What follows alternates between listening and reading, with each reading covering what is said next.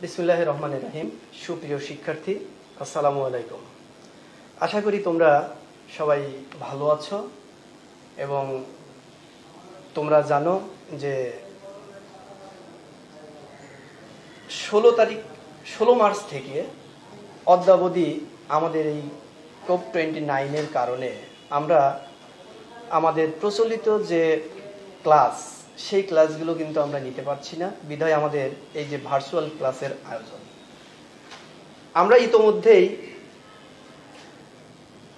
দুটি তিনটি ক্লাস নিয়েছি তোমাদের এবং তিনটি শিখন ফল আমরা ইতোমধ্যেই শেষ করেছি।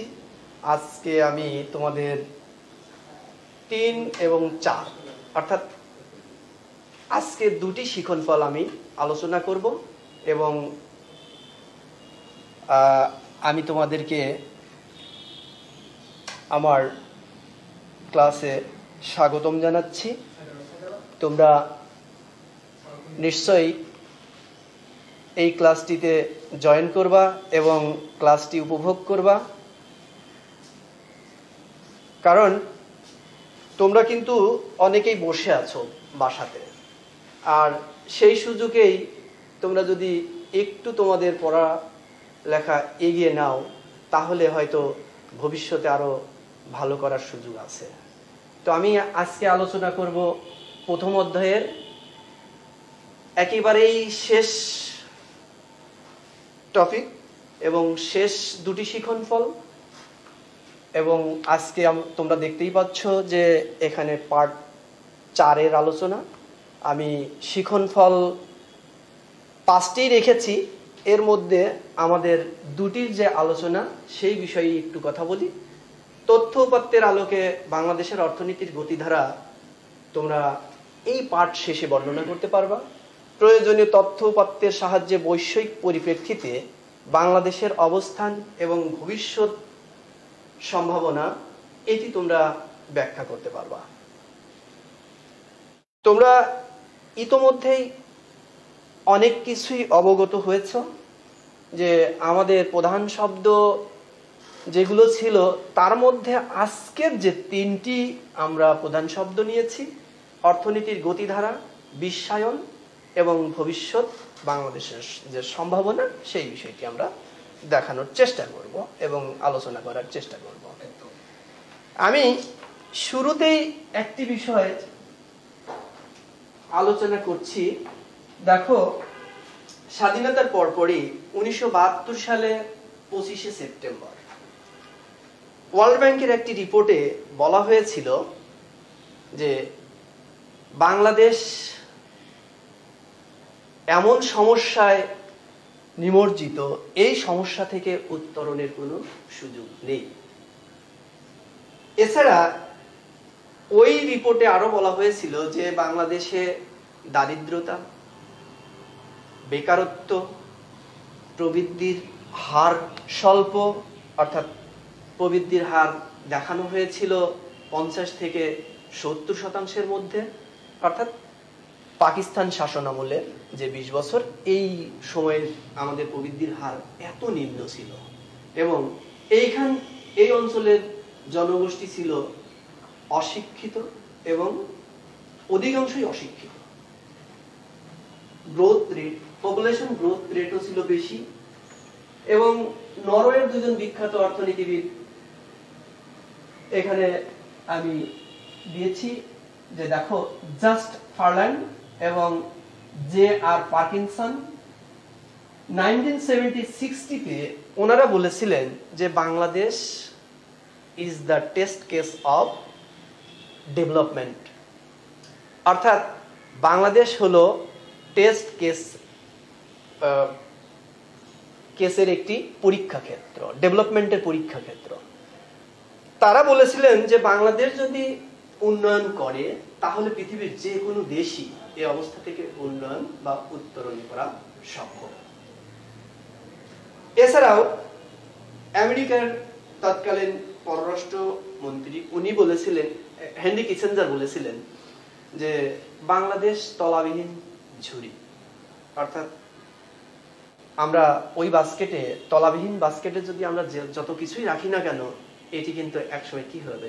পড়ে যাবে। মনে হবে যে দিচ্ছি, দিতেই নেই নেই নেই নেই এই অবস্থা আর কি।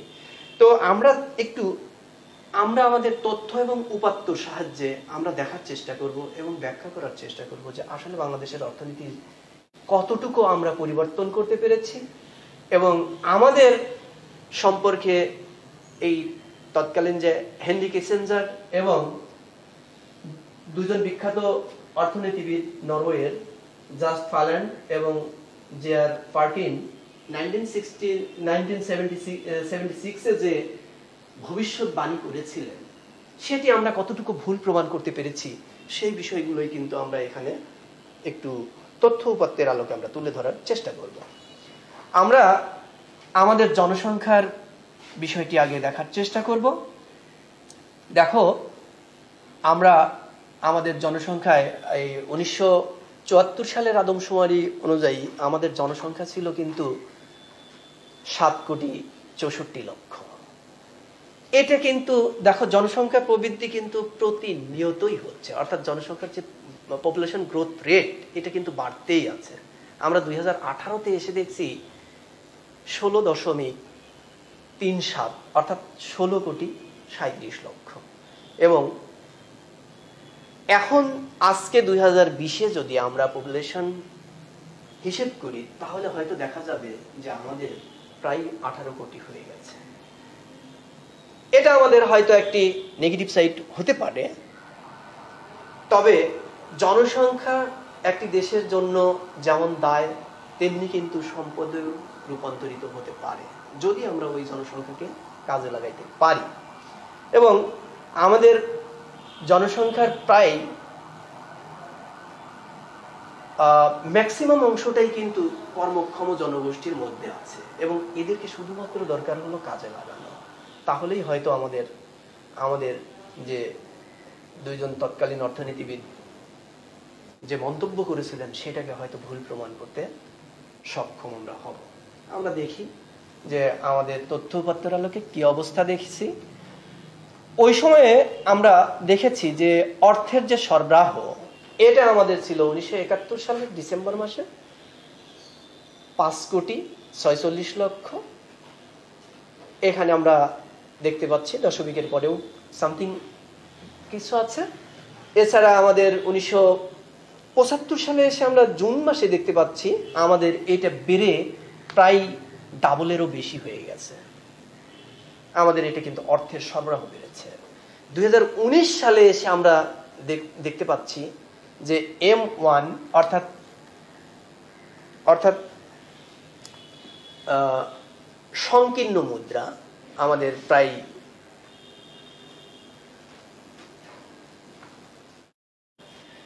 দুই লক্ষ বান্ন হাজার তিনশো চুয়াত্তর কোটি টাকা হয়েছে। এবং এইখানে রিজার্ভ মুদ্রা আছে, রিজার্ভ মুদ্রা দেখানো হয়েছে দুই লক্ষ ছাব্বিশ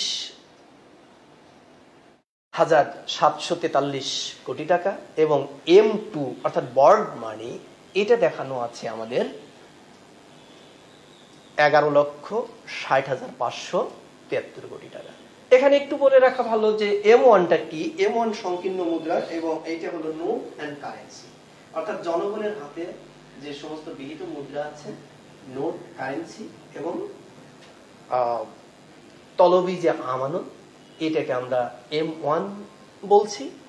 আর আমরা রিজার্ভ মুদ্রা বলছি যে ইস্যুকৃত নোট বা মুদ্রা তফসিলি ব্যাংক এবং অন্যান্য আর্থিক প্রতিষ্ঠানের বাংলাদেশে, বাংলাদেশ ব্যাংকে রক্ষিত স্থিতি। অর্থাৎ তোমরা জানো যে তালিকাভুক্ত যে ব্যাংকগুলো আছে, তালিকাভুক্ত বাণিজ্যিক ব্যাংকগুলো আছে, এই ব্যাংকগুলো বাংলাদেশ ব্যাংক থেকে যখন ঋণ নেয়, তার একটি অংশ কিন্তু রিজার্ভ আকারে রাখতে হয় বাংলাদেশ ব্যাংকে। ঠিক একইভাবে অন্যান্য আর্থিক প্রতিষ্ঠানও যদি বাংলাদেশ ব্যাংক থেকে এ ধরনের ঋণ নেয়, সেক্ষেত্রে রিজার্ভ রাখতে হয়। আমরা এই এই রিজার্ভকে আমরা লিগাল রিজার্ভও বলে থাকি। তো এই, এইটা কিন্তু বাংলাদেশ ব্যাংকের যে আমরা, আমাদের রিজার্ভ এত বেড়ে গেছে, এটিকে আমরা কিন্তু মিন করছি না।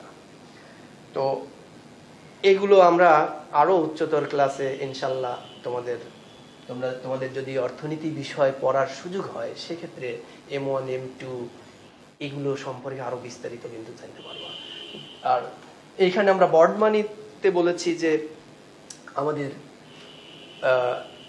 ফিক্সড ডিপোজিট অর্থাৎ M one plus M two M ওয়ানের সাথে অন্যান্য যে সমস্ত বন্ড এবং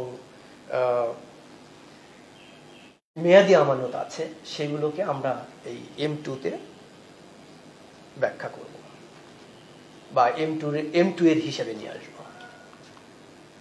আমরা একটু জিডিপির দিকে দেখব যে আমাদের আসলে জিডিপির পরিবর্তনটা কেমন হয়েছে, আমাদের জাতীয় বাজেটের পরিবর্তনটা কেমন হয়েছে।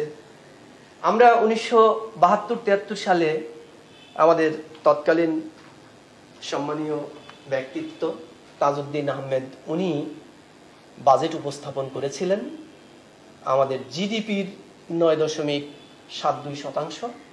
অর্থাৎ আমাদের জিডিপির পরিমাণ ছিল তখন আট হাজার সাতাশি কোটি টাকা এবং বাজেট ছিল মাত্র সাতশো ছিয়াশি কোটি টাকা। একটু খেয়াল করলেই আমরা কিন্তু দেখতে পাবো যে আমাদের প্রতি দশকে আমাদের চেঞ্জটা কেমন হয়েছে।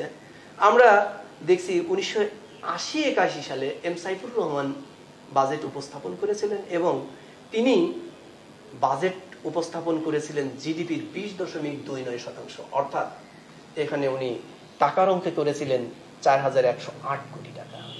এবং মেজর জেনারেল মোনায়েম, উনি নব্বই একানব্বই সালে করেছিলেন অর্থ বছরে করেছিলেন। আমাদের জিডিপির একচল্লিশ দশমিক আট ছয় শতাংশ। অর্থাৎ আমাদের টোটাল বাজেট ছিল বারো হাজার নয়শো ষাট কোটি টাকা। সাহেব এসকিব্রিয়া, উনি করেছিলেন দুই হাজার এবং দুই হাজার এক অর্থ বছরে আটত্রিশ হাজার পাঁচশো চব্বিশ কোটি টাকা। এবং জিডিপির অংশ যদি আমরা দেখি, এখানে একটি রিমার্কেবল চেঞ্জ এবং আমি এটা নিয়ে খুবই কনফিউশনেও ছিলাম যে এটা কি করে সম্ভব। But that was the real situation এবং এখানে আমরা দেখতে পাচ্ছি যে seventy one point three five percent এবং দশ এগারো অর্থ বছরে এসে আমরা দেখছি এম মুহিত, আব্দুল মাল আবুল মুহিত, এই নামটি অনেকেই ভুল করে থাকে। তোমরাও একটু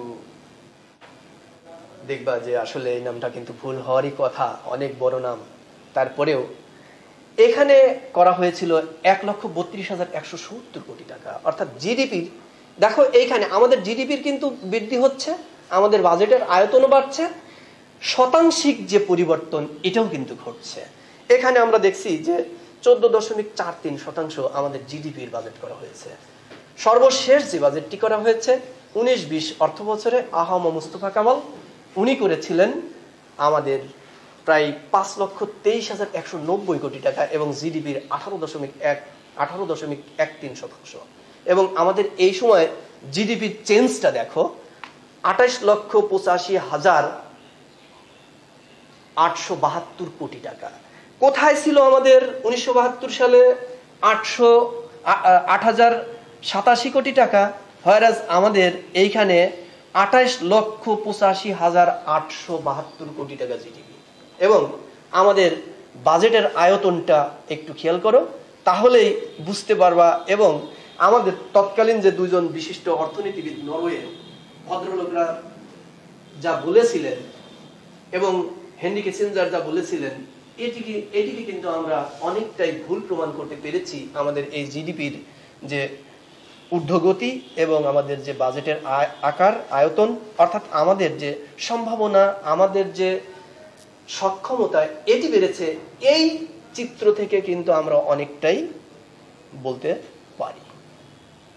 আমি খাদ্য উৎপাদনের দিকে একটু দেখব যে আসলে আমাদের খাদ্যের অবস্থানটা কি ছিল। তোমরা জানো যে উনিশশো বাহাত্তর সালে একাত্তর সালে স্বাধীনতার পরপরই আমাদের উনিশশো সালে একটি দুর্ভিক্ষ দেখা দিয়েছিল এবং ওই সময় কিন্তু খাদ্যের ব্যাপক সংকট ছিল এবং ওই সময় অনেক লোকও মারা গিয়েছিল যে খাদ্যের অভাবে অর্ধানারে। আমাদের ওই সময় আমরা আগের স্ট্যাটিস্টিক্সে কিন্তু দেখেছি, উনিশশো চুয়াত্তর সালে আমাদের প্রায় সাত কোটি লোক ছিল। অথচ আমাদের ওই সময় খাদ্যের অভাব ছিল। আজকে আমরা দুই হাজার আঠারো, উনিশ অর্থ বছরে এসে দেখছি যে আমাদের খাদ্যের উৎপাদন চারশো পনেরো দশমিক সাত চার metric ton lakh metric ton এবং এটি কিন্তু আমাদের বছর শেষ হয়নি মার্চের ডেটা অর্থাৎ আঠারো, উনিশের মার্চের ডেটা এইখানে আমরা দেখতে পাচ্ছি যে আমাদের রিমার্কেবল কিন্তু চেঞ্জ হয়েছে খাদ্য উৎপাদনে, এবং আমরা খাদ্যে অনেকটাই স্বয়ংসম্পন্ন আমাদের এমন কিছু খাদ্য আছে যেগুলো আমরা রপ্তানি করছি, আবার কিছু কিছু হয়তো আমাদের আমদানি করা লাগছে। শ্রমশক্তি এবং কর্মসংস্থানের দিকে যদি আমরা একটু দেখি, সেক্ষেত্রে আমরা উনিশশো পঁচানব্বই, ছিয়ানব্বই অর্থ বছরের কথা যদি আমরা চিন্তা করি, এবং তখন আমরা দেখছি যে কৃষিতে আমাদের লোক সংখ্যা নিয়োজিত ছিল তেষট্টি দশমিক দুই শতাংশ। এবং আজকের বাংলাদেশে আঠা চল্লিশ দশমিক ছয় শতাংশ, অর্থাৎ আঠারো উনিশ অর্থ বছরে। শিল্পে ছিল মাত্র সাত দশমিক পাঁচ শতাংশ এবং বর্তমানে আজকে আমরা এসে দেখছি যে বিশ দশমিক চার শতাংশ, অর্থাৎ প্রায় থ্রি টাইমস আমাদের এই পঁচিশ বছরে বেড়েছে। এছাড়া আমরা সেবা খাত, সেবা খাতের কথা যদি আমরা চিন্তা করি, সেবা খাতে আমাদের তো রিমার্কেবল চেঞ্জ এবং আমরা এটা কিন্তু মাত্র বারো শতাংশ লোক ছিল সেবা খাতে। এখন কিন্তু উনচল্লিশ শতাংশ। আমরা এইখানে আমাদের যে তিনটি খাত আছে, এই খাতে কি ধরনের চেঞ্জ এসেছে আমরা সেগুলো একটু দেখার চেষ্টা করব। আমরা পরবর্তী স্লাইডে আমরা দেখতে পাবো। আমাদের শিল্প খাতে যে সমস্ত উৎপাদন হয়েছে, ক্ষুদ্র কুটির শিল্প, মাঝারি থেকে বৃহৎ শিল্প, তথা মোট শিল্প খাত, ম্যানুফ্যাকচারিং, অর্থাৎ উৎপাদন সেক্টর থেকে যে আমাদের উৎপাদিত মোট প্রাপ্তি এবং আমাদের যে প্রবৃদ্ধির শতাংশ এটা আমরা, প্রবৃদ্ধির হার এটি আমরা দেখানোর চেষ্টা করব এবং উনিশশো নব্বই, উনিশশো একানব্বই, বিরানব্বই অর্থ বছরে আমরা দেখছি, দেখতে পাচ্ছি যে পাঁচ হাজার চারশো এগারো দশমিক সাত কোটি টাকা আমরা পেয়েছি এই ম্যানুফ্যাকচারিং খাত থেকে এবং আমাদের এইখানে প্রবৃদ্ধি হয়েছিল এই খাতে সাত দশমিক তিন শতাংশ। উনিশশো পঁচানব্বই, ছিয়ানব্বই এসে আমাদের একটু আমাদের এই ডিক্লাইন হয়েছে। এখানে আমরা দেখতে পাচ্ছি যে আমাদের সাত দশমিক তিন থেকে পাঁচ দশমিক তিনে এসেছে। অর্থাৎ দুই শতাংশ আমাদের এখানে কিন্তু কমে গেছে। যদিও আমাদের মোট মোট উৎপাদনের পরিমাণ কিন্তু সরি মোট উৎপাদনের পরিমাণ কিন্তু আমাদের বেড়েছে আগের অর্থ বছরের তুলনায়। আমরা দুই হাজার আঠারো উনিশ অর্থ বছরে এসে দেখতে পাচ্ছি যে আমাদের মোট বেড়েছে এখান থেকে কত গুণ, কয়েক গুণ বেড়ে গেছে কিন্তু। কোথায় ছিল পাঁচ হাজার চারশো এগারো কোটি টাকা? আর এইখানে চার লাখ বিরাশি হাজার আটচল্লিশ কোটি টাকা। এবং আমরা যদি প্রবৃদ্ধির শতাংশ চিন্তা করি, এখানে আমরা দেখতে পাচ্ছি চোদ্দ দশমিক সাত তিন শতাংশ। অর্থাৎ আগেকার সময়ে আর বর্তমান সময়ের ভেতরে ব্যাপক ডিফারেন্স আমরা এখানে লক্ষ্য করতে পারছি। আমরা সঞ্চয়, বিনিয়োগ, এটা আমরা একটু দেখার চেষ্টা করব যে আমাদের সঞ্চয় কেমন হচ্ছে এবং বিনিয়োগ কি পরিমাণ হচ্ছে। আমরা এটা দেশজ দেখব। জাতীয় সঞ্চয় দেখব, আমরা মোট বিনিয়োগ দেখব, সরকারি এবং বেসরকারি দেখার চেষ্টা করব। আমরা ছিয়ানব্বই, সাতানব্বই অর্থ বছরে আমরা দেশজ যে সঞ্চয় এটি আমরা দেখাচ্ছি মাত্র সাত দশমিক সাত শতাংশ। এবং এটি দেখো, বেড়ে আঠারো, উনিশ অর্থ বছরে এসে কিন্তু এখানে three times more than three times বেড়েছে। অর্থাৎ তিন তিন গুণেরও বেশি পরিমাণ এখানে আমরা লক্ষ্য করতে পাচ্ছি। এবং জাতীয় যে সঞ্চয়, এখানে এটাও আমরা দেখতে পাচ্ছি যে আমাদের প্রায় ডাবল হয়ে গেছে। আমাদের মোট বিনিয়োগের পরিমাণ এখানেও আমরা দেখতে পাচ্ছি প্রায় ডাবল সরকারি বিনিয়োগ আমরা এখানে বেসরকারি বিনিয়োগের তুলনায় দেখতে পাচ্ছি যে কম। একইভাবে আমরা আঠারো উনিশ অর্থ বছরেও কিন্তু একই অবস্থা দেখতে পাচ্ছি। বেসরকারি বিনিয়োগ যে পরিমাণ বেড়েছে, যে হারে বেড়েছে সরকারি বিনিয়োগ কিন্তু সেই হারে বাড়ানো আমাদের সম্ভব হয়নি। একটি বিষয় আমাদের জেনে রাখা ভালো যে সরকারের কাজটা কি আসলে? সরকারের কাজ কিন্তু কর্মসংস্থান, কর্মসংস্থানের সুযোগ তৈরি করা। কর্মসংস্থানের সুযোগ তৈরি যখন করতে হবে সরকার যখন করতে চাইবে, তখন কিন্তু বেসরকারি খাতে বিনিয়োগের পরিমাণ বেড়ে যাবে। অর্থাৎ সরকার দেখবে যে আসলে বেশ উৎপাদন উৎপাদন যেমন বাড়াইতে হবে এবং আমাদের নিয়োগ প্রক্রিয়াও কিন্তু বাড়ানো যাবে। যদি আমরা সরকারি সরকারি বিনিয়োগের তুলনায় বেসরকারি বিনিয়োগ আমরা বেশি পরিমাণ করি এবং এটি এটি যদি আমরা যথার্থভাবে করি, তাহলে অর্থাৎ উৎপাদনশীল সেক্টরে যদি বিনিয়োগ করা যায় সেক্ষেত্রে কিন্তু আমাদের যে মূল লক্ষ্য আমরা কর্মসংস্থান তৈরি করব, সেটি কিন্তু সম্ভব। আমি আগেই বলেছিলাম যে তিনটি খাত আগে দেখিয়েছিলাম যে তিনটি খাতে শ্রমিকরা কীভাবে কাজ করছে এবং আমাদের যে মূল তিনটি খাত, কৃষি কৃষি, শিল্প, সেবা, অর্থনীতির মূল তিনটি খাত কিন্তু এই তিন এগুলো। আমরা এইখানে দেখতে পাচ্ছি যে আগে এই যে আশি একাশি অর্থ বছরে এখানে শ্রমিক কত ছিল? আমরা পঁচানব্বই, ছিয়ানব্বই কিন্তু শ্রমিক সংখ্যা দিয়ে খেয়েছিলাম। আর এইখানে আমরা আশিতে আমরা আশি, একাশি অর্থ বছরে দেখাচ্ছি, কৃষিতে আমাদের জিডিপিতে অবদান মাত্র তেত্রিশ তেত্রিশ দশমিক তিন সাত শতাংশ। এটি কিন্তু উনিশশো বাহাত্তর তিয়াত্তর সালে পঞ্চাশ শতাংশের উপরে ছিল উপরে ছিল। এটি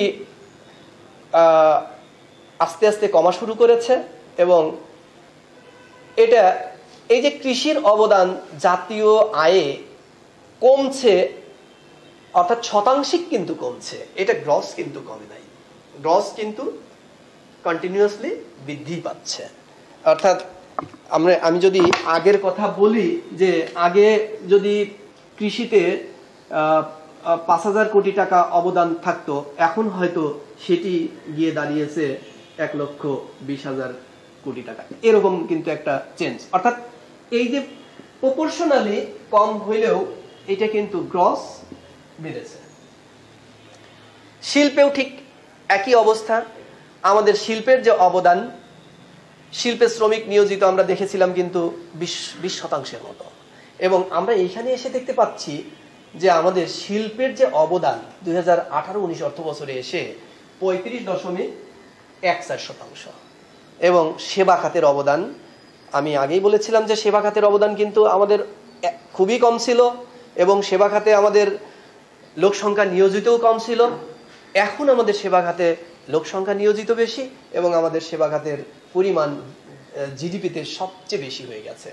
দেখো, আমরা এখানে কিন্তু লক্ষ্য করতে পারছি যে একান্ন দশমিক দুই চার দুই দুই- দুই চার দুই ছয় শতাংশ। অর্থাৎ আমাদের এইখানে আগে যেমন কৃষি নির্ভর ছিল, এখন কিন্তু সেবা নির্ভর হয়ে গেছে। এবং সেকেন্ড হাইস্টেই আছে আমাদের শিল্প। জিডিপির যে প্রকৃত অবস্থা, এটা আমরা একটু দেখার চেষ্টা করব দেখানোর চেষ্টা করব। দেখো যে আমাদের উনিশশো পঁচাত্তর ছিয়াত্তর অর্থ বছরে প্রবৃদ্ধির হার কত ছিল? পঁচাত্তর ছিয়াত্তর অর্থ বছরে প্রবৃদ্ধির হার ছিল মাত্র পাঁচ দশমিক সাত শতাংশ। এটা প্রবৃদ্ধির যে হার, এটা আমরা এখানে কিন্তু দেখছি। তোমরা দেখো, পরবর্তীতে এসে, এসেই কিন্তু আবার আমাদের জিডিপির যে পরি জিডিপির যে বৃদ্ধি, এটি কিন্তু সরি প্রবৃদ্ধি, এটি কিন্তু কমা শুরু করেছে। অর্থাৎ উনিশশো আশি, একাশি অর্থ বছর থেকে উনিশশো নব্বই, একানব্বই এই যে সামরিক শাসন আমল, এখানে প্রায় সেই উনিশশো পঁচাত্তরের পরবর্তী সময় থেকে উনিশশো নব্বই সাল পর্যন্ত কিন্তু সামরিক শাসন ছিল আমাদের দেশে এবং এই সময় আমাদের প্রবৃদ্ধির হার ছিল একেবারেই কিন্তু রিমার্কেবল খুবই কম পরিমাণ। এবং উনিশশো পঁচানব্বই, ছিয়ানব্বই থেকেই দেখো আবার বাড়া শুরু করেছে এবং ইতোমধ্যেই আমরা আট দশমিক এক তিন শতাংশে কিন্তু আমরা পৌঁছে গেছি আমাদের প্রবৃদ্ধির হারে। আমরা চলতি বাজার মূল্যে জিডিপি এবং স্থির মূল্যে প্রবৃদ্ধির হার একটু ব্যাখ্যা করার চেষ্টা করব। তোমরা জানো যে জিডিপি গ্রস ডোমেস্টিক প্রোডাক্ট, অর্থাৎ দেশজ, মোট দেশজ উৎপাদন, একটি নির্দিষ্ট ভূখণ্ডের মধ্যে, নির্দিষ্ট সীমারেখার মধ্যে, দেশের নাগরিক নাগরিক এবং বিদেশের নাগরিকগণ যে পরিমাণ দ্রব্য এবং সেবা সামগ্রী উৎপাদন করে, তার যে বাজার মূল্য, এটাকে আমরা জিডিপি জিডিপি বলে থাকি। অর্থাৎ যদি আমরা এটা বাংলাদেশ চিন্তা করি এবং এটা অন্যান্য দেশ চিন্তা করি, এই যে বাংলাদেশের ভৌগোলিক সীমারেখার মধ্যে দেশের এবং বিদেশের যে নাগরিকগণ যে পরিমাণ দ্রব্য এবং সেবা সামগ্রী উৎপাদন করে, তার কিন্তু বাজার মূল্য। দেশের নাগরিকরা বাইরে যদি উৎপাদন করে, সেটি কিন্তু জিডিপিতে কাউন্ট হবে না জিএনপিতে কাউন্ট হবে। অর্থাৎ গ্রস ন্যাশনাল প্রোডাক্টে কাউন্ট হতে পারে কাউন্ট হবে। আমাদের কিন্তু জিডিপিতে তখন কাউন্ট হবে না। তো এই বিষয়গুলো তোমাদের হয়তো প্রথম বর্ষেই ব্যাখ্যা করা হয়েছে। আমি ওগুলো আর ওদিকে যাচ্ছি না। তো স্থির মূল্যে স্থির মূল্যে কীভাবে দেখানো হয়, এটি হয়তো তোমরা অনেকেই জানো যে ভিত্তি বছরের সাথে বর্তমান বছরের যে তুলনা, এইটা, এইটি করে কিন্তু আমাদের স্থির মূল্যে প্রবৃদ্ধির হার দেখানো হয়েছে। এইখানে অর্থাৎ আমাদের ভিত্তি বছর এখনও ধরা এখনও ধরা হয় উনিশশো পঁচানব্বই, ছিয়ানব্বইকেই এবং এটা, এটার উপর বেস করেই কিন্তু আমাদের এই স্থূর, স্থির মূল্যে যে প্রবৃদ্ধির হার, এটি আমরা এখানে দেখানোর চেষ্টা করেছি। আমরা প্রত্যেকটি অর্থ বছরেই এখানে যতগুলো অর্থ বছর আমি দেখিয়েছি, দুই হাজার ছয় সাত থেকে দুই হাজার উনিশ, বিশ, এখানে কিন্তু প্রত্যেকটা জায়গাতেই দেখতে পাচ্ছ যে আমাদের চেঞ্জ এবং এটা আপওয়ার্ড চেঞ্জ অলওয়েজ একটা আপওয়ার্ড চেঞ্জ আমরা লক্ষ্য করতে পারছি। এখন প্রশ্ন হলো যে জিডিপি বাড়লেই কি আমাদের আসলে জীবনযাত্রার মা অর্থনীতির অনেক কিছু পরিবর্তন হয়ে গেছে? না। জিডিপির বৃদ্ধি, প্রবৃদ্ধি হতে পারে একটি ডেভেলপমেন্টের indicator but not all all kinds of development will be air এখানে কিন্তু সব সব অর্থনৈতিক উন্নয়ন কিন্তু এখানে বলা যাবে না। আমরা দুই- তোমরা এখানে হয়তো লক্ষ্য করছ যে এইখানে আমি সাদা অংশ রেখে দিয়েছি। কেন রেখেছি? যে আমরা এখানে যে উনিশের অর্থনৈতিক সমীক্ষাটি দেখিয়েছি, এইখানে কিন্তু আমরা এই যে প্রবৃদ্ধি আমাদের এস্টিমেট করা হয়েছে সাড়ে আট শতাংশের মতো। বাট এটি কিন্তু আমরা অ্যাসিভ এখনও করতে পারি নাই। অ্যাসিভ হয়তো আমরা আমাদের যদি এই ওয়ার্ল্ড যে ক্রাইসিসটি এখন দেখা দিয়েছে, এরকম যদি না থাকতো, হয়তো আমাদের ওটা অ্যাসিভ হয়ে যেত। যাই হোক, এটি আমরা দেখানোর চেষ্টা করব পরে। আমাদের আমরা পরেই দেখব হয়তো যে আসলে আমাদের কি অবস্থা হচ্ছে। আমরা বিদ্যুৎ উৎপাদন দেখব যে তোমরা জানো যে সাস্টেইনেবল ডেভেলপমেন্ট সাস্টেইনেবল ডেভেলপমেন্টের আমি আমি ব্যক্তিগতভাবে সবসময় বলে থাকি যে সাস্টেইনেবল ডেভেলপমেন্টের যে প্রিকন্ডিশন কিছু প্রিকন্ডিশন আছে। সেই প্রিকন্ডিশনের মধ্যে আমার কাছে যেটি মনে হয় যে এই এরকম যদি হয়, সেক্ষেত্রে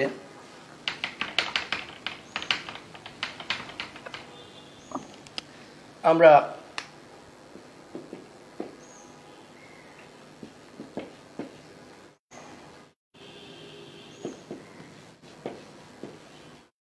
education development?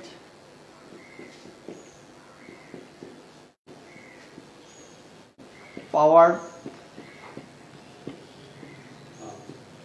Power development?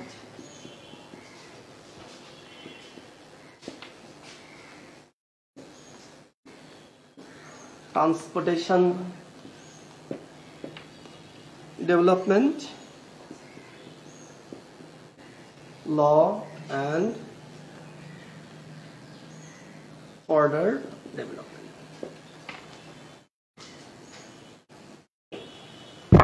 ডেভেলপমেন্টের অনেকগুলো ইন্ডিকেটর আছে।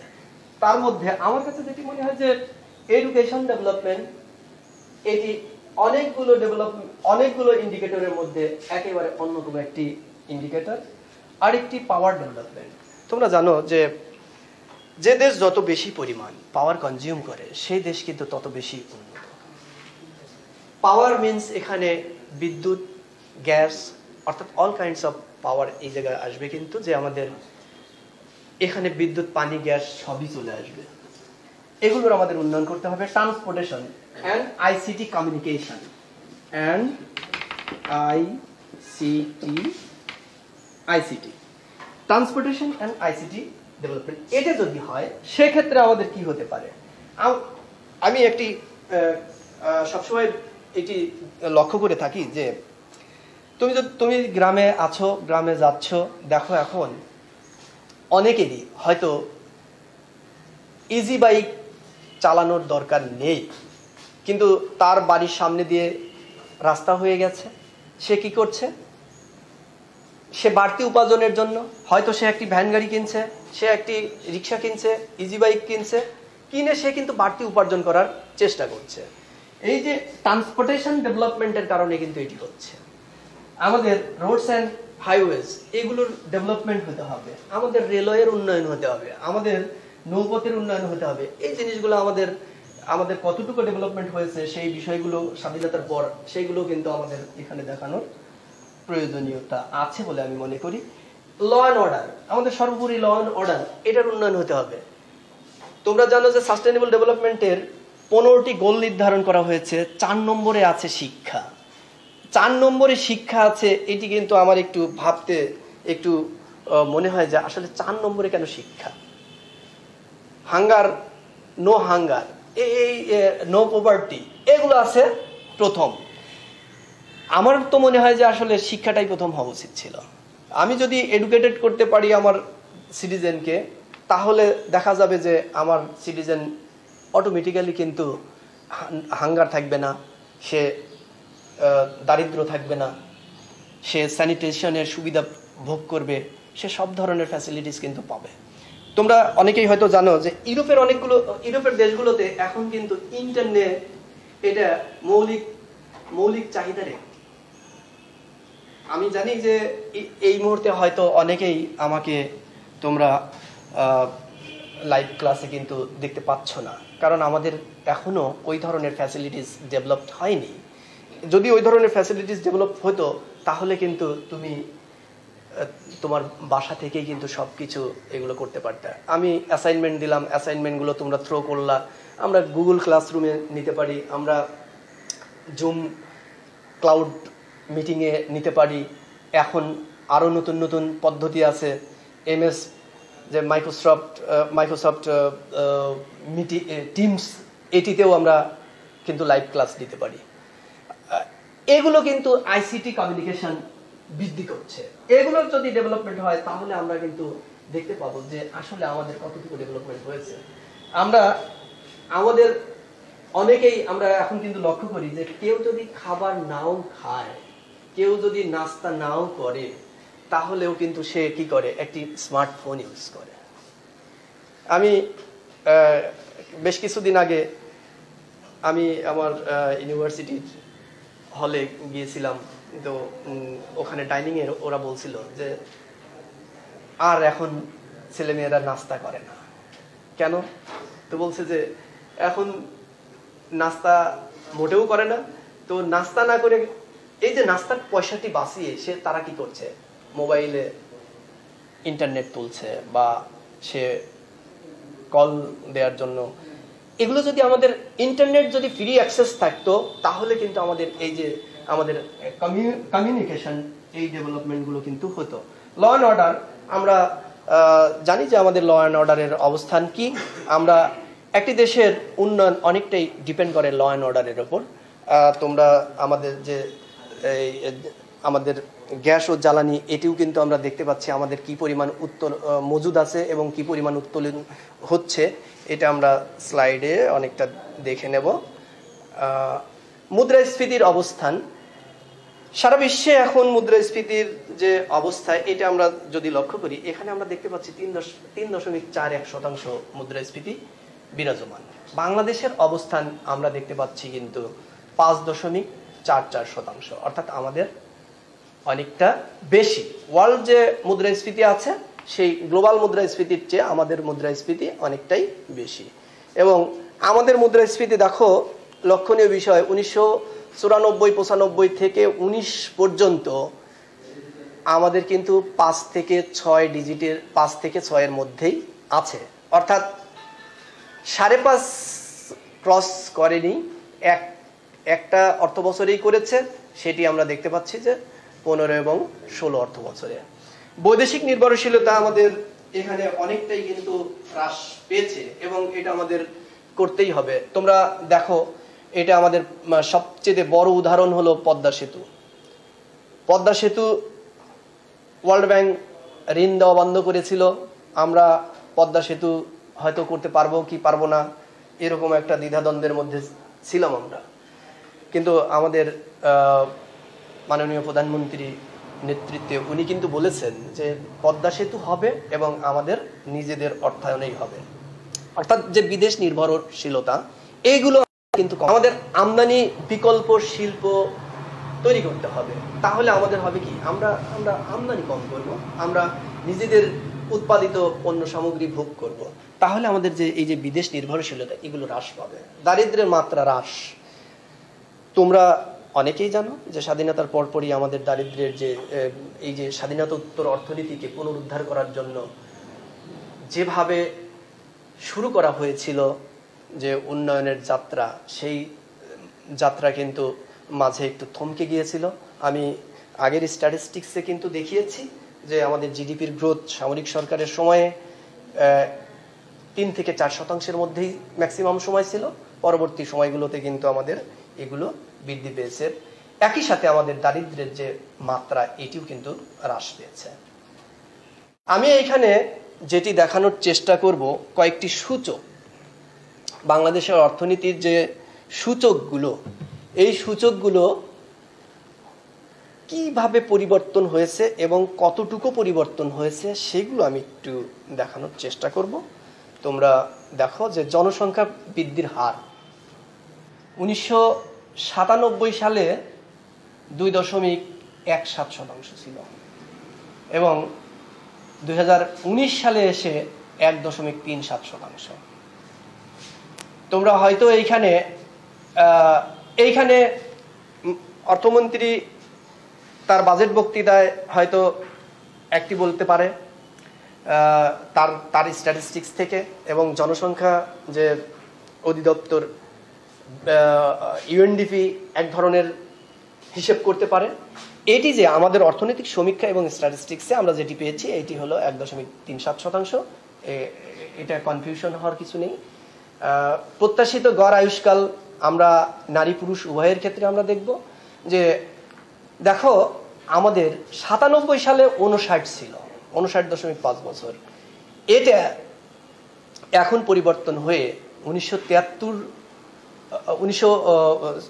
উনিশশো সাল থেকে উনিশশো সরি দুই হাজার উনিশ সালে এসে সাত দশমিক, তিয়াত্তর দশমিক সাত বছর হয়েছে। এটা উভয়ের। পুরুষের গড় আয়ু আগে ছিল বেশি। দেখো, এখানে ষাট দশমিক সরি ষাট দশমিক ষাট শতাংশ। আর উনিশশো, দুই সালে এসে একাত্তর দশমিক পাঁচ বছর। অর্থাৎ এখানে বৃদ্ধির হার দেখো। প্রায় এগারো বছর, এগারো বছরেরও বেশি বেড়েছে। মহিলাদের বেড়েছে আরও বেশি। মহিলাদের পঁচাত্তর দশমিক নয় বছর হয়েছে উনষাট থেকে। মাথাপিছু আয়, এটা ছিল দুশো পঞ্চাশ মার্কিন ডলার। এখন আমাদের উনিশশো নয় মার্কিন ডলার। স্বাধীন, সাক্ষরতার হার, অর্থাৎ যারা লিখতে এবং পড়তে পারে এবং এই এই হার ছিল সাতানব্বই সালে, মাত্র বিয়াল্লিশ দশমিক ছয় শতাংশ। সেটি আমাদের উনিশ দুই সালে এসে বাহাত্তর দশমিক নয় শতাংশ হয়েছে। আমরা জাতীয় সঞ্চয় জিডিপির যে শতাংশ, আগেও দেখিয়েছিলাম। সরি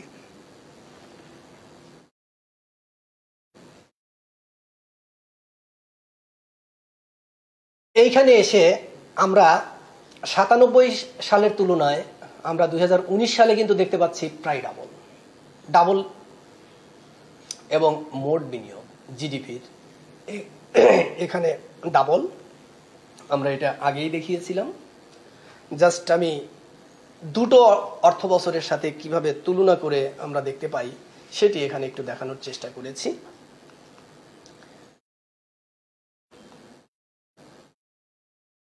আরেকটি দেখো যে মোট আমদানি ব্যয় ছিল আমাদের ওই সময়, সাতানব্বই সালে, উনিশশো সাতানব্বই সালে, সাত হাজার একশো সত্তর মার্কিন ডলার এবং দুই হাজার উনিশ সালে এসে আমাদের সাঁত্রিশ হাজার আটশো উনচল্লিশ মার্কিন ডলার হয়েছে।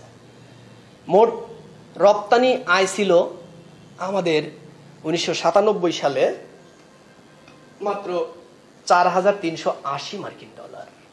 সেটি দুই হাজার উনিশ সালে এসে কিন্তু সাতাশ হাজার একশো চুয়াল্লিশ মিলিয়ন মার্কিন ডলারে পৌঁছেছে। প্রবাসীদের প্রেরিত অর্থ, যেটির উপরই মূলত আমাদের অর্থনীতির অনেকটাই নির্ভরশীল, গার্মেন্টসের উপর আমাদের অর্থনীতি অনেকটাই নির্ভরশীল। এখানে এসে আমরা দেখতে পাচ্ছি যে প্রবাসীদের প্রেরিত অর্থ আমাদের উনিশশো সাতানব্বই সালে ছিল বারোশো তিন মিলিয়ন মার্কিন ডলার। সেটি এসে দুই হাজার উনিশ সালে এক লক্ষ আঠারো হাজার উনসত্তর মিলিয়ন মার্কিন ডলার, অর্থাৎ প্রায় আমাদের কিন্তু একশো গুণ বেড়ে গেছে এইটি দারিদ্রের হার আমাদের ছয়চল্লিশ দশমিক সাত শতাংশ ছিল সাতানব্বই সালে। আমরা এটি কিন্তু কমিয়ে আনতে পেরেছি। তোমরা জানো যে মিলেনিয়াম ডেভেলপমেন্ট গোল ছিল। মিলেনিয়াম ডেভেলপমেন্টের আটটি লক্ষ্যমাত্রা ছিল। তার মধ্যে দারিদ্রতা দারিদ্র হ্রাস করা, ক্ষুধা নো হাঙ্গার, এখানে কোনো স্যানিটেশনের সুবিধা থাকবে, সুপ্রিয় পানীয় জলের সুবিধা থাকবে, বিশ্ব অংশীদারি, বিশ্বে অংশীদারিত্ব থাকবে, অর্থাৎ আমরা জানি যে এখন গ্লোবালাইজেশনের যুগ। এই গ্লোবালাইজেশনে সম্পৃক্ত হওয়া আমাদের অত্যন্ত জরুরি যে, অর্থাৎ আমাদের দেশের, এক দেশের, অন্য দেশের সাথে কীভাবে পার্টনারশিপে উন্নয়ন করা যায় সেই বিষয়গুলো কিন্তু মিলেনিয়াম ডেভেলপমেন্ট গোলে ছিল। আমরা এইখানে এসে উনিশ উনিশ সালে এসে দেখতে পাচ্ছি যে, আমাদের চরম দারিদ্রের হার মাত্র এগারো দশমিক তিন শতাংশ। অর্থাৎ আগের বছরগুলোর তুলনায় আমরা কিন্তু অনেক কমিয়ে আনতে পেরেছি।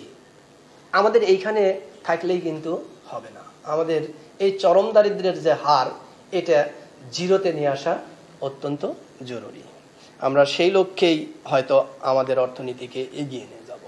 আমরা আমাদের কৃষি এবং অকৃষি, দেখো এইখানে অকৃষি অর্থাৎ শিল্প এবং সেবা, এ দুটো মিলেছিল আর এখন কিন্তু শিল্প সেবা দুটোকে সেপারেট করে দেওয়া আছে এবং সেবার যে অবদান, আগে অকৃষিতে ছিল মাত্র উনষাট দশমিক চার শতাংশ এবং এখন সেবাতেই কিন্তু আমাদের একান্ন দশমিক দুই ছয় শতাংশ হয়েছে।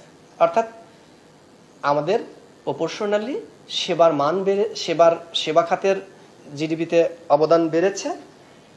কৃষি এবং শিল্পের তুলনায়। যদিও শিল্পও আমাদের এগিয়ে চলছে।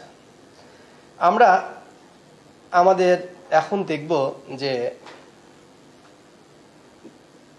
বৈষয়িক পরিপ্রেক্ষিতে বাংলাদেশের অবস্থানটা আসলে কি। আমরা এখানে অনেকগুলো উপা ইন্ডিকেটর আছে। সেই ইন্ডিকেটরগুলো আমি একটু অনলাইনে তোমাদের দেখানোর চেষ্টা করব। সেই, সেইগুলো যদি তোমরা দেখতে পাও তোমরা যদি চেষ্টা করো, তাহলে হবে কি যে বিভিন্ন দেশের সাথে যে তুলনা, আমি বলেছি যে প্রয়োজনীয় তথ্য উপাত্তর সাহায্যে বৈষয়িক পরিপ্রেক্ষিতে বাংলাদেশের অবস্থান এবং ভবিষ্যৎ সম্ভাবনা।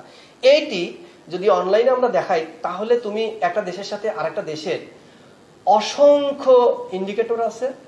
এই ইন্ডিকেটরগুলো তুমি চাইলে বিশ্বের সাথে তুলনা করতে পারবা, বিশ্ব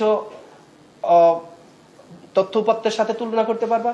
বিশ্বে যে যে অঞ্চলগুলো, অঞ্চলে ভাগ করা হয়েছে ওয়ার্ল্ড ব্যাংক যে অঞ্চলগুলোতে ভাগ করেছে, এই অঞ্চলগুলোর সাথে তুমি তুলনা করতে পারবা। Asia Asia Pacific South Asia North America America South এই যে পাঁচ, ছয়টি রিজিয়ন আছে, এই রিজিয়নগুলোর সাথে তুমি কিন্তু তোমার এইগুলো তুলনা করতে পারবা। এছাড়া তুমি তুলনা করতে পারবা একটি দেশের সাথে আরেকটি দেশের। যাই হোক বিশ্ব ব্যাংকের হিসেব মতে নিম্ন আয়ের দেশ, মাথাপিছু আয় যদি এক হাজার পঁয়তাল্লিশ ডলারের নিচে হয়, তাহলে আমরা বলব যে এটা নিম্ন আয়ের দেশ। আমরা এই বৈশিষ্ট্য থেকে আমরা বলতে পারি যে আমরা কিন্তু এখন আর নিম্ন আয়ের দেশে নেই। নিম্ন মধ্যম আয়ের দেশ বলা হচ্ছে এক থেকে চার হাজার একশো পঁচিশ মার্কিন ডলার। আমরা আমাদের আগের স্ট্যাটিস্টিক্সেই দেখেছি যে উনিশশো নয় মার্কিন ডলার আমাদের পার ক্যাপিটা ইনকাম তো এইখানে আমরা নিঃসন্দেহে এই বৈশিষ্ট্যের মাধ্যমে আমরা বলতে পারি যে আমরা নিম্ন, মধ্যম আয়ের দেশে ইতোমধ্যেই কিন্তু পৌঁছে গেছি। উচ্চ, মধ্যম আয়ের দেশ, এখানে বলা হচ্ছে যে উচ্চ, মধ্যম আয়ের দেশ হবে একচল্লিশশো ছাব্বিশ থেকে বারো হাজার সাতশো ছত্রিশ মার্কিন ডলার। এই ইনকামের মধ্যে পার ক্যাপিটা ইনকামের মধ্যে যারা আছে, তারা কিন্তু উচ্চ, মধ্যম আয়ের দেশ। এই ক্ষেত্রে আমরা যদি আমাদের আমরা অ্যাটলাস টিআই দিয়ে আমাদের এই ডেটাগুলো দেখার চেষ্টা করি, তাহলে কিন্তু বিভিন্ন দেশের সাথে তুলনা করতে পারব এবং আমরা খুব সহজেই ফাইন্ড আউট করতে পারব যে কোন দেশ কোন অবস্থানে আছে। উচ্চ আয়ের দেশ আমরা এখানে দেখতেই পাচ্ছি যে বারো হাজার সাতশো ছত্রিশ প্লাস ইউএস মার্কিন ডলার হতে হবে। জাতিসংঘের হিসেব মতে এইখানে দুই হাজার আঠারো সালের CDP committee for development policy এনারা মূল্যায়ন করেছিলেন যে উন্নয়নশীল দেশের জন্য প্রয়োজন অর্থনৈতিক ভঙ্গুরতার সূচকে বত্রিশের নিচে থাকতে হবে। এটা যদি বত্রিশের নিচে থাকে, তাহলে উন্নয়নশীল দেশের মধ্যে পড়া যাবে। এবং আমরা এখানে দেখতে পাচ্ছি যে বাংলাদেশের অর্জিত যে পয়েন্ট এটি কিন্তু পঁচিশ দশমিক দুই শতাংশ। অর্থাৎ আমরা জাতিসংঘের হিসেব এবং বিশ্ব ব্যাংকের দুটো হিসেব থেকেই আমরা দেখতে পাচ্ছি যে বাংলাদেশ কিন্তু আর নিম্ন আয়ের দেশে নেই। নিম্ন মধ্যম আয়ের দেশে ইতোমধ্যেই আমরা পৌঁছে গেছি। মানব সম্পদ সূচকে এটি থাকতে হবে ছেষট্টি। এটা কমিটি ফর ডেভেলপমেন্ট পলিসির মতে। আমরা এইখানে আছি তিয়াত্তর দশমিক দুইয়ে অর্থাৎ এইখানে আমরা প্রয়োজনীয় যে পয়েন্ট অর্জন করতে ব্যর্থ হয়েছি। মাথাপিছু আয়, এটি আমরা অর্জন করেছি এবং আমরা এখানে দেখতে পাচ্ছি যে এটিও আমাদের এইখানে এই হিসেব মতে কিন্তু অর্জন হয়নি। সরি হয়েছে। কারণ আমরা আমরা করেছি বারোশো বারোশো চুয়াত্তর পয়েন্ট আর এখানে প্রয়োজন ছিল আমাদের বারোশো তিরিশ পয়েন্ট। সো আমরা কিন্তু এটিও কিন্তু আমাদের অর্জন হয়েছে। আমরা ভবিষ্যৎ যে সম্ভাবনা, এটা কীভাবে আমাদের সম্ভাবনা দ্বার উন্মোচন করা যায়, তোমরা জানো যে এখন গ্লোবালাইজেশনের যুগ এবং ম্যাকলুহাম উনি সর্বপ্রথম উনি একজন ফিলোসোফার ছিলেন এবং উনি উনিশশো চৌষট্টি সালে এই যে গ্লোবালাইজেশনের ধারণাটিও দিয়েছিলেন এবং বিশ্বকে এক এক, একটি গ্রামের সাথে তুলনা করেছিলেন। একটি গ্রামের লোক যেমন একজন আর একজনের উপর ডিপেন্ড হবে না অংশীদারিত্ব হবে। ঠিক একইভাবে বিশ্বায়নের যুগে আমরা টেকনোলজি তারপরে শিক্ষা, প্রশিক্ষণ, উন্নয়ন, শিল্প দক্ষতা বৃদ্ধি সব কিছুই এক, একজন আরেকজনের সাথে শেয়ার করতে পারব এবং শেয়ার করে আমরা আমাদের গুণগত মান উন্নয়ন করতে পারব। সেই সাথে আমাদের যে ভবিষ্যৎ যে সম্ভাবনা, এগুলো কি আছে, সেগুলো আমরা একটু দেখার চেষ্টা করি। মানব সম্পদের যে গুণগত মান বৃদ্ধি, এটা যদি আমরা করতে পারি, তাহলে কিন্তু আমাদের অনেক কিছুই এখান থেকে অর্জন করা সম্ভব। তোমরা জানো যে ইউরোপের অনেকগুলো দেশেই পপুলেশন গ্রোথ রেট জিরো অথবা তার নিচে, অর্থাৎ মাইনাসও অনেক দেশ আছে। সুতরাং আমরা জনসংখ্যাকে আমাদের সমস্যা না দেখে আমরা যদি আমাদের জনগণের কোয়ালিটি বাড়াইতে পারি, তাহলে কিন্তু আমরা এই সমস্ত দেশগুলোতে আমাদের জনসংখ্যা রপ্তানির মাধ্যমে, অর্থাৎ এই রিমিটেন্সের মাধ্যমেও কিন্তু আমরা আমাদের দেশের অর্থনৈতিক উন্নয়ন করতে সক্ষম হতে পারি। তোমরা জানো যে ইতোমধ্যেই জাপান তাদের দেশে বয়স্ক জন, জনসংখ্যা, বয়স্ক লোকের সংখ্যা অনেক বেড়ে গেছে। ফলে জাপান কিন্তু এখন অনেক লোকই তারা অন্যান্য দেশ থেকে যারা অর্থাৎ কর্মক্ষম, সেই ধরনের লোককে তারা নেয়ার চেষ্টা করছে। কৃষিভিত্তিক শিল্পায়ন আমাদের অপার সম্ভাবনাময় দেশ। আমাদের কৃষিতে আমরা এখন কিন্তু অনেকেই এগিয়ে গেছি। আমাদের শস্য উৎপাদন যেমন বাড়ছে, আমাদের কিন্তু একই সাথে আমাদের এই লাইভ স্টক এগুলো বেড়ে গেছে। আমাদের মৎস্য মৎস্য চাষ অনেকাংশেই বেড়ে গেছে। আমাদের চিংড়ি চাষ বেড়ে গেছে। আমাদের যে অপ্রচলিত কিছু পণ্যদ্রব্য ছিল এগুলো কিন্তু উৎপাদন অনেক বেড়ে গেছে। কৃষিভিত্তিক শিল্পায়ন যদি আমরা গড়ে তুলতে পারি, সেক্ষেত্রে আমাদের কিন্তু এই যে আমাদের সম্ভাবনার দ্বার কিন্তু অনেকটাই উন্মোচন হতে পারে। উন্নয়নমুখী বিভিন্ন পদক্ষেপ, সরকারের উন্নয়নমুখী যদি অনেক পদক্ষেপ নিলে, যেমন ঢাকা শহরে কেউ যদি শিল্পায়ন করতে চায় সরকার হয়তো বলে দিল যে তোমাদেরকে এইখানে ট্যাক্স দিতে হবে এবং ট্যাক্সের হার বেশি দিতে হবে। এই- উন্নয়ন এটাই যদি কেউ ডিসেন্ট্রালাইজড করে ঢাকার বাইরে হয়তো রংপুরে করতে পারে, হয়তো করতে পারে বরিশালে, হয়তো করতে পারে রাজশাহীতে, এই অঞ্চলে যদি করা যায়, হয়তো সরকার বলেই দিতে পারে যে তোমাদেরকে ট্যাক্স হলিডে করা হবে। তাহলে হয়তো এইখানে উন্নয়ন করানো সম্ভব এবং সস্তায় শ্রমিকও পাওয়া সম্ভব। দক্ষতা বৃদ্ধি। আমরা দক্ষতা বাড়াইতে হবে আমাদের প্রশিক্ষণ দিতে হবে। আমাদের যে যে জনগোষ্ঠী আছে, আমাদের প্রায় ফিফটি পার্সেন্ট জনসংখ্যা আছে যেগুলো কর্মক্ষম বাট তারা অনেক প্রশিক্ষণের অভাবে তারা কিন্তু কাজ পায় না। এদেরকে প্রশিক্ষণ দিতে হবে, দক্ষ করে গড়ে তুলতে হবে। অর্থাৎ বিশ্বের তাদের ডিমান্ড কি? সেই ডিমান্ডগুলো আমাদেরকে চিহ্নিত করতে হবে। সেই ডিমান্ড অনুযায়ী আমাদেরকে, আমাদের প্রোডাক্ট তৈরি করতে হবে। অর্থাৎ আমাদের জনসংখ্যাকে সেইভাবে গড়ে তুলতে হবে। শ্রম বাজারের অনুসন্ধান, আমাদের বিশ্বে কোন কোন দেশে শ্রমের ডিমান্ড আছে সেইগুলো আমাদের অনুসন্ধান করতে হবে। আমাদের পররাষ্ট্র মন্ত্রণালয়ের মাধ্যমে, আমাদের শ্রম শ্রম এবং প্রবাসী কল্যাণ মন্ত্রণালয়ের মাধ্যমে এগুলো কিন্তু আমাদের করতে হবে।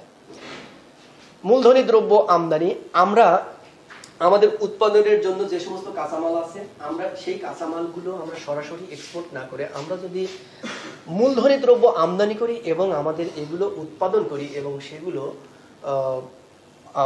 আমরা আবার পরবর্তীতে কিন্তু এক্সপোর্ট করতে পারব। পরিবেশ বান্ধব পণ্যের বাজার সম্প্রসারণ, আমরা পরিবেশ বান্ধব যদি বাজারের পণ্যের বাজার যদি আমরা করতে পারি, অর্থাৎ আমরা এখানে ভেজাল মুক্ত দ্রব্য উৎপাদন করতে পারি তাহলে কিন্তু আমাদের এগুলোর বাজার সম্প্রসারণ হবে। শ্রমবহুল সস্তা বাজার বিশ্বে একটি ব্র্যান্ডিং আমরা করতে পারি, অর্থাৎ আমাদের যে জনসংখ্যা আছে, এই জনসংখ্যাকে যদি আমরা জনশক্তিতে রূপান্তর করতে পারি, তাহলে এটি কিন্তু একটি ব্র্যান্ডিং হতে পারে যে বাংলাদেশের সস্তায় অনেক দক্ষ শ্রমিক পাওয়া যায়। শিল্পের বিকাশ আমরা অবশ্যই করব। এটা শিল্পের বিকাশ আমাদের ক্ষুদ্র, মাঝারি এবং ভারী শিল্প, এগুলো আমাদের বিকাশ ঘটাইতে হবে। কাঠামোগত রূপান্তরশীল করতে হবে। আমাদের, অর্থাৎ আমাদের শিল্পগুলোকে দু হাজার দশ সালের শিল্পনীতিতে যেগুলো বলা হয়েছে যে যারা উৎপাদনে যে যে যে ধরনের প্রোডাক্ট উৎপাদনে আগ্রহী, তাকে সেই ধরনের প্রোডাক্ট উৎপাদন করতে হবে এবং আমাদের স্কেল সেন্স করতে হবে, অর্থাৎ যে কুঠির শিল্প বা মাঝারি শিল্প বা ভারী শিল্প, এগুলো কিন্তু কাঠামোগত পরিবর্তন আমাদের আনতে হবে এখানে। স্বল্প, মধ্যম এবং দীর্ঘমেয়াদী পরিকল্পনা প্রণয়ন করতে হবে। আমাদের পরিকল্পনাগুলো এমন হতে হবে যাতে আমরা যেন স্বল্পকালীন আমাদের লস হলেও আমরা যেন দীর্ঘমেয়াদে আমরা এটি সফলতার মুখ দেখতে পাই প্রাকৃতিক সম্পদ সমৃদ্ধ বাংলাদেশ। আমরা, তোমরা ইতোমধ্যেই জানো যে আমাদের অনেকগুলো গ্যাস ক্ষেত্র আছে। আমাদের কিন্তু এগুলো আমাদের প্রযুক্তির অভাবে হয়তো আমরা আহরণ করতে পারছি না।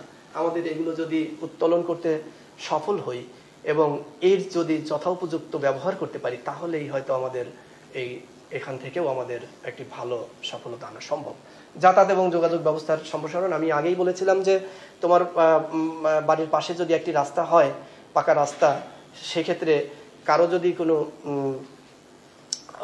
কিছু ভ্যান বা রিক্সা এগুলো চালানোর প্রয়োজনীয়তা নেই, সেও কিন্তু বাড়তি উপার্জনের আশায় সে এটি করতে পারে। প্রত্যক্ষ বৈদেশিক বিনিয়োগ, এটিকে আমাদের সাধুবাদ জানাইতে হবে। অর্থাৎ আমাদের আমাদের বিনিয়োগের বিনিয়োগ বান্ধব পরিবেশ সৃষ্টি করতে হবে। যেন বাইরের দেশগুলো থেকে আমাদের এখানে সরাসরি বিনিয়োগ করার জন্য আসে। পর্যটন সুবিধা, তোমরা জানো যে আমাদের দেশ নদী, পাহাড় এবং সমুদ্রের নীলাভূমি আমাদের কিন্তু আছে। আমাদের যে সবচেয়ে বড় সমুদ্র সৈকত, কক্সবাজার সমুদ্র সৈকত, আমাদের সেন্ট মার্টিন, এগুলো কিন্তু অত্যন্ত চমৎকার একটি জায়গা এবং তোমরা ইতোমধ্যেই জানো যে মেরিন ড্রাইভ করা হয়েছে কক্সেস বাজার টু টেকনাফ। এগুলো কিন্তু অন্যান্য দেশের চেয়ে কোনো অংশেই কম না। তুমি যদি দার্জিলিং যাও, তাহলে তুমি ওইখানে কি দেখতে পাবা? শুধু পাহাড় আর পাহাড় দেখতে পাবা। বাট আমাদের দার্জিলিং এর বিকল্প হিসেবে আমাদের কিন্তু পার্বত্য চট্টগ্রাম, রাঙ্গামাটি, খাগড়াছড়ি, এগুলো যদি আমরা করি, পাশাপাশি কিন্তু আমরা ওদিক দিয়ে যদি আমরা কদম কদমতল, অর্থাৎ থানচিত হয়ে ওইদিকে দিয়ে যদি আমরা একটি চ্যানেল করে দিতে পারি সেন্ট মার্টিন সেন্ট মার্টিন বা টেকনাপ টেকনাপ অঞ্চল দিয়ে তাহলে কিন্তু আমাদের একই সাথে পাহাড় এবং সমুদ্র দুটোই কিন্তু উপভোগ করা যায়। সুতরাং আমরা এইখানে পর্যটন শিল্পে কিন্তু আমরা আমাদের দেশকে এগিয়ে নিতে পারি এবং এই ক্ষেত্রে আমাদের অপার সম্ভাবনা আছে বলে আমি মনে করি। আমি একটু তোমাদেরকে অনলাইনে একটু বিষয়গুলো দেখানোর চেষ্টা করব। কীভাবে তুমি একটি দেশের সাথে আরেকটি দেশের কম্পেয়ার করবা বিভিন্ন তথ্য এবং উপাত্তের সাহায্যে, সেই বিষয়গুলো আমি একটু দেখানোর চেষ্টা করব। তোমরা একটু এখান থেকে দেখে নিতে পারবা।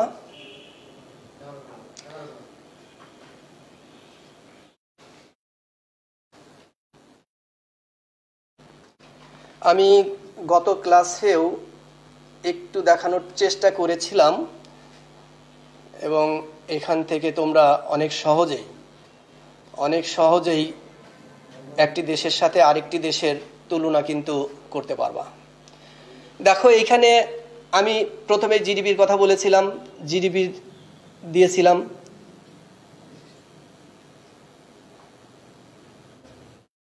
জানি কেন?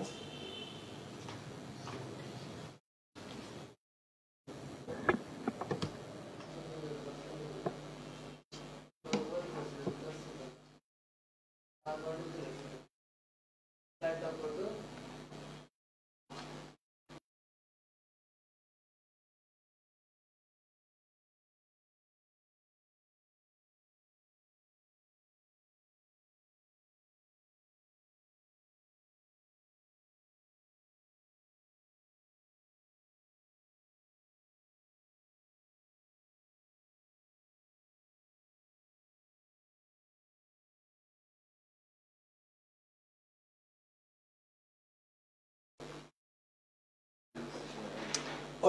ওখানে কি তুমি এডিট করে দিছো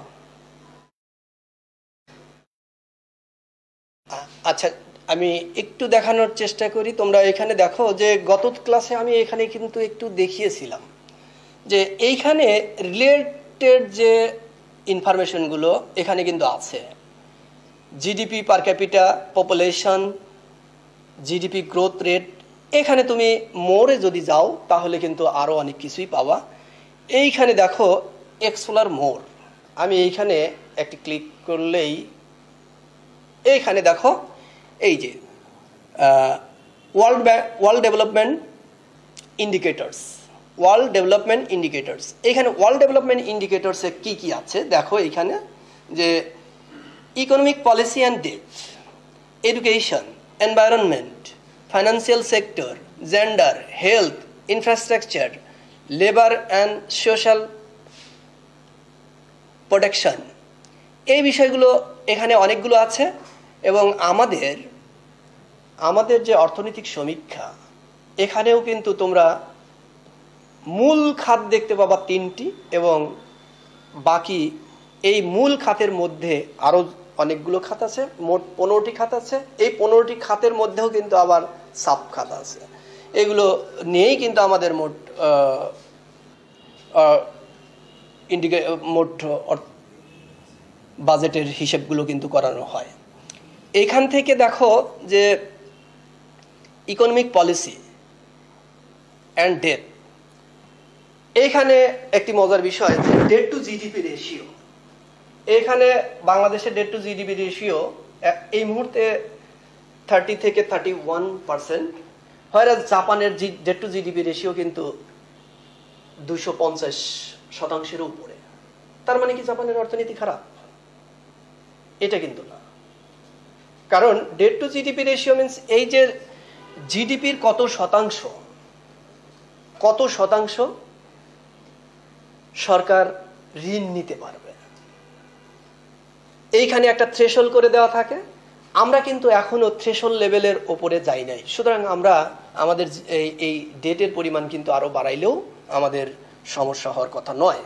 এবং তোমরা জানো যে মাননীয় প্রধানমন্ত্রী উনি কিন্তু বলেছিলেন যে ডেট আমরা কেন ডেট টু জিডিপি রেশিও পঞ্চাশ শতাংশে কেন যেতে পারব না? পঞ্চাশ শতাংশে গেলে সমস্যাটা কোথায়? এইখানে আমাদের দেখতে হবে যে আসলে আমরা ডেট ডেট বাড়াই, কিন্তু আমরা এটি কোথায় আমরা ব্যয় করছি? আমরা বিনিয়োগে ব্যয় করছি? নাকি আমরা আমাদের যে সমস্ত সেক্টর, অনুৎপাদনশীল সেক্টর আছে, সেই সেই সমস্ত সেক্টরে বিনিয়োগ করছি? ওই ধরনের সেক্টরে যদি বিনিয়োগ করি, তাহলে কিন্তু আমাদের ডেট টু জিডিপি রেশিওতে ডেট বাড়ানো আমাদের লাভ নাই নাই। বরঞ্চ আমাদের tax tax to tax GDP tax to GDP ratio বাড়াইতে হবে। আমাদের আমাদের ট্যাক্স মাত্র জিডিপির দশ থেকে বারো শতাংশ।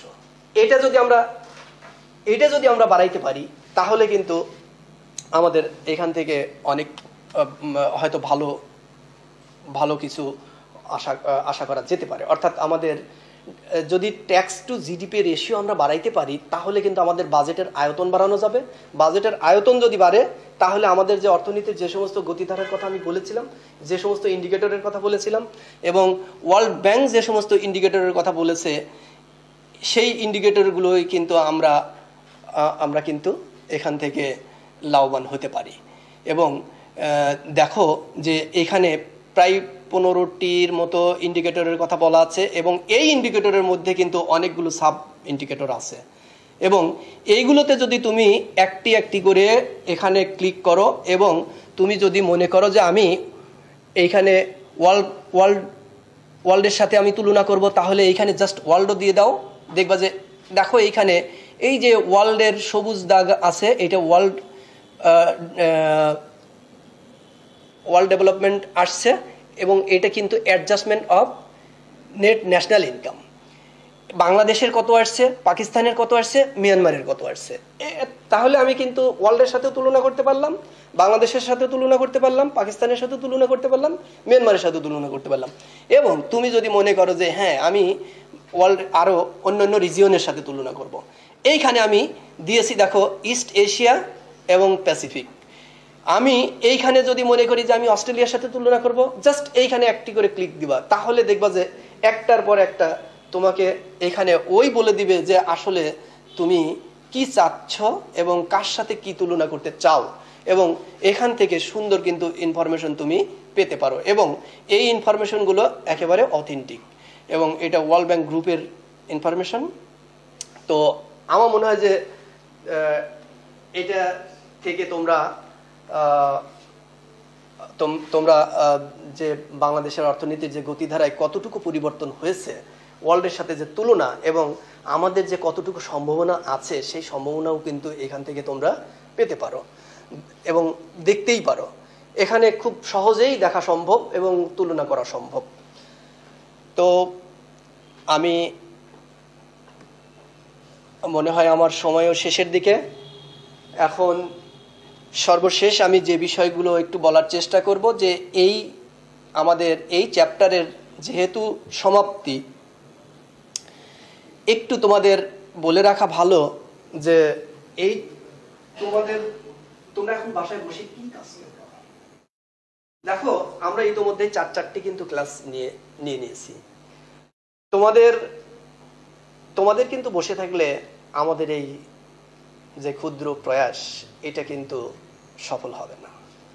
তোমরাও তোমাদের মতো কাজ করতে থাকো।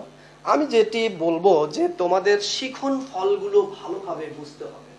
তোমাদের অনেকের ধারণা যে সৃজনশীল মনে হয় লিখলেই তো নম্বর। এটা কিন্তু ভুল ধারণা। তুমি যদি তোমার উদ্দীপকটি ভালো করে বুঝতে না পারো এই উদ্দীপকটি কোন শিখন ফল থেকে নেওয়া হয়েছে, এটি তুমি যদি চিহ্নিত না করতে পারো, উদ্দীপকটি কোন ধারণা থেকে নেওয়া হয়েছে, কোন প্রধান শব্দ থেকে নেওয়া হয়েছে, এগুলো যদি তুমি না নির্ধারণ করতে পারো, তাহলে তুমি তোমার মন গড়া একটা অ্যান্সার করে দিবা, আর তুমি নম্বর পাবা। এটা কিন্তু ঠিক নয়। এখন, যদি এমন শিক্ষকের কাছে তোমার খাতা পড়ে যে যেই শিক্ষক তোমার খাতাটি পুঙ্খানুপুঙ্খভাবে পড়েই দেখবেন তাহলে কিন্তু তুমি বিপদে পড়ে যাবা। আমার এক্সপিরিয়েন্স থেকেই আমি বলছি যে আসলে খাতায় কি লেখো তোমরা এবং দেখা যায় যে উদ্দীপকের সাথে আমাদের যে শিখন ফলে কোনো এবং তোমাদের যে অ্যান্সারের, এটার কোনোই মিল নেই। তুমি ইচ্ছা মতো লিখলা, এটা কিন্তু নম্বর পাওয়া যাবে না। তোমাকে উদ্দীপক এবং শিখন ফলের সাথে তোমাকে সমন্বয় করেই তোমাকে লিখতে হবে। এবং যেখানে যে তথ্য এবং উপাত্ত চাওয়া হয়েছে, সেই তথ্য এবং উপাত্ত তোমাকে দিতে হবে। তোমাদেরকে এখানে যেহেতু একটা জ্ঞানের প্রশ্ন আছে, একটি অনুধাবনের প্রশ্ন আছে, জ্ঞানের প্রশ্ন তুমি সরাসরি দিতে পারছ। অনুধাবনের প্রশ্ন প্রশ্নের আনসার কিন্তু তোমাকে অবশ্যই চিন্তা করেই দিতে হবে। এবং ওটা তোমাকে উদ্দীপক থেকেই চিন্তা করে দিতে হবে। তোমার অ্যাপ্লিকেশনের ক্ষেত্রে এটিও কিন্তু তোমাকে তোমাকে প্রয়োগ দেখাইতে হবে। অর্থাৎ আমি যেটি দেখিয়েছিলাম, তোম- তোমরা হয়তো লক্ষ্য করেছ যে আমি ওখানে বলেছিলাম যে দুটো দেশের মধ্যে তুলনা। মিয়ানমার পাকিস্তানের সাথে তুলনা, বাংলাদেশ পাকিস্তানের সাথে তুলনা, পূর্ব পাকিস্তান, পশ্চিম পাকিস্তানের সাথে তুলনা। এর আগের ক্লাস অনেকটাই ইতিহাস নির্ভর ছিল। যে আসলে ইতিহাস নির্ভর ছিল, কারণ আমাদের আমাদের বাংলাদেশের ইতিহাস, বাংলাদেশের অর্থনীতির ইতিহাস অনেক আগের ইতিহাস। তো উচ্চতর দক্ষতায় তোমাকে কিন্তু প্রুভ করতে হবে যে আসলে হায়ার অর্ডার হায়ার অর্ডার কি? এখানে তোমাকে, তুমি যদি একটু অন্যের চেয়ে একটু ভিন্ন ভাবে না লেখো, তোমাকে যদি একটু ভিন্নতার সাথেই যদি না লিখো, তাহলে কিন্তু তুমি এই যে উচ্চতার দক্ষতায়, এটিও কিন্তু, উচ্চতার দক্ষতায় গিয়েও দেখা যায় যে চারের ভিতরে জিরো নম্বর দিতে হয়েছে আমাদেরকে। আবার অ্যাপ্লিকেশনে তিনের মধ্যে জিরো দিতে হয়েছে। তো এগুলো তোমাদেরকে একটু মাথায় রাখতে হবে। আমার বিশ্বাস যে তোমরা যদি তোমাদের এই শিখন ফলগুলো এবং শিখন ফলের সাথে সমন্বয় করে, উদ্দীপকের সাথে সমন্বয় করে তোমাদের আনসার দাও, তাহলে আমার মনে হয় যে তোমরা এর থেকে ভালো কিছু পাবা। তো থ্যাংক ইউ ভেরি মাচ তোমাদেরকে অনেক অনেক ধন্যবাদ। তোমাদের এই ধৈর্য সহকারে এত দীর্ঘ ক্লাস শোনার জন্য। এবং তোমরা ভালো থাকো, সুস্থ থাকো, নিরাপদে থাকো। আমরা যেন আবার আমাদের ক্লাসে ফিরে আসতে পারি অতি দ্রুত। সেই প্রত্যাশায় আল্লাহ হাফেজ।